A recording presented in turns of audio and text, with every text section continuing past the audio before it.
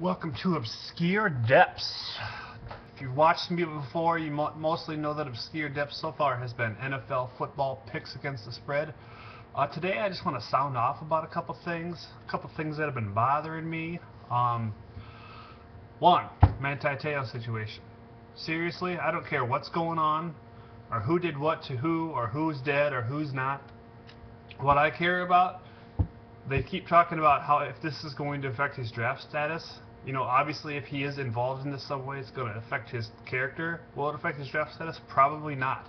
Um, you know what? I don't want him. You know why? You know what affects his draft status for me? I don't want him on my NFL team because what his team and he, the supposed best linebacker in college football, did against Alabama. They looked like boys among men. Alabama is the closest thing that you're going to get to a NFL defense and offense. And Notre Dame got slaughtered. They didn't even belong on that same field. I mean, yes, when Manti Te'o goes to the NFL, he's going to be surrounded by much better athletes. He might be the only NFL defensive, might be the only NFL bound player on that defense, and he's going to have far better talent around him. But still, I mean, if I'm watching him on my on the draft board, I'm thinking about that game. I'm not I'm not thinking about his 40 time. I'm not thinking about anything besides that. How he looked, he was rendered basically useless against that Alabama offense. That's what affects Manti Te'o's Manti Te'o's draft status for me. Um, I don't care what happens in this whole situation. Um, I'm sick of it just as much as I'm sick of the Lance Armstrong situation. I don't even want to talk about Lance Armstrong. I can't believe I just said his name twice. Somebody should tell Lance Armstrong he's back in the Tour de France, fly him to Antarctica with his bike uniform on and his bike and just leave him there as far as I'm concerned. But anyway, Lance Armstrong, damn you for ruling the airwaves all week. Damn you. Um, uh, a couple other things. Um, some things that maybe slipped through the cracks this week, or last week, I should say. Um, the Major League Baseball, Major League Baseball uh, decided not to vote anybody into the Hall of Fame.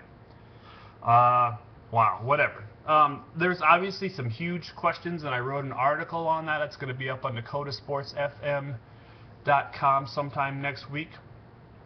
Um, but a couple of players that slipped through the cracks. Uh, Bernie Williams, in his first year of eligibility, didn't get didn't get the five percent, so he's now rendered ineligible. I can't believe no Yankees fans are up in arms about that. Um, and a couple other guys that were up for the first time too that didn't get in were Steve Finley and Reggie Sanders.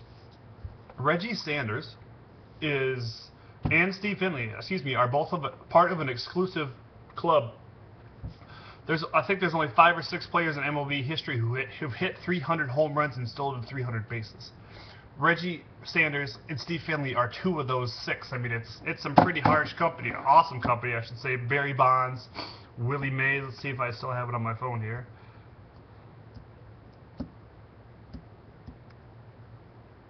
Yep. Sorry. But yeah, I mean, I just maybe that alone, for me, is that not reason enough? I mean, they're they're part of only six players in MLB history to do such a thing. I mean, I just think that's crazy. But I, but they they too were among like Bernie Williams. They didn't get the five percent, so they're not going to be eligible to get into the Baseball Hall of Fame. I I just can't believe. I'm not necessarily. I think they maybe should be Hall of Famers. I mean, whatever. It's up to these writers, and who knows. You know, they did, they were a part of the steroid era, but that's a whole other issue, and I'm not going to get into that right now. But listen to this. Barry Bonds, Willie Mays, Andre Dawson, Bobby Bonds, Reggie Sanders, Steve Finley, Alex Rodriguez, and Carlos Beltran. Yes, Reggie Sanders and Steve Finley might shine in in that statement of those players as people who should not be in the Hall of Fame, but those are the only people in Major League Baseball who have done that. I mean, that's what eight people. I don't know. Anyway, that's just what's on my mind this morning. Uh, thanks for listening. Have a great day.